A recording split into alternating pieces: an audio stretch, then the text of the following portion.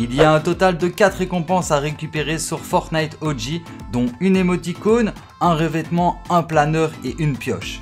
Pour les débloquer, vous allez devoir réaliser les défis Pototop. Si vous ne savez pas comment les réaliser, j'ai mis une vidéo en description et en commentaire épinglé qui vous explique comment les récupérer en solo.